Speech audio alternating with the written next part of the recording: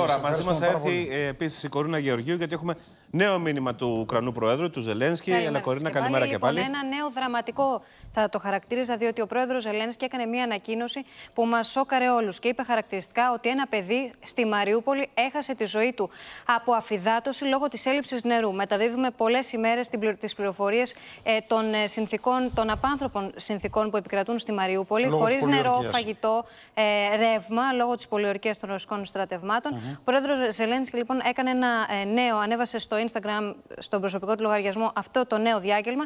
Και επίσης λέει χαρακτηριστικά ότι θα πρέπει να, σεμβα- να σεβαστούμε το δικαίωμα στη ζωή. Γι' αυτό πολεμούμε ε, και αυτό θα πρέπει όλοι να αντιληφθούν ότι δεν θα καταφέρουν να μας το στερήσουν οι σκληροί εισβολείς, ή, ή μάλλον τους είπε αδύναμους εισβολείς, γιατί έχει, έχει σημασία να το πούμε αυτό. Είπε αυτό θα πρέπει να προστατεύσει ολόκληρος ο κόσμος. Ο, ο κόσμος δεν θα πρέπει να Κάνε δικαστεί. μια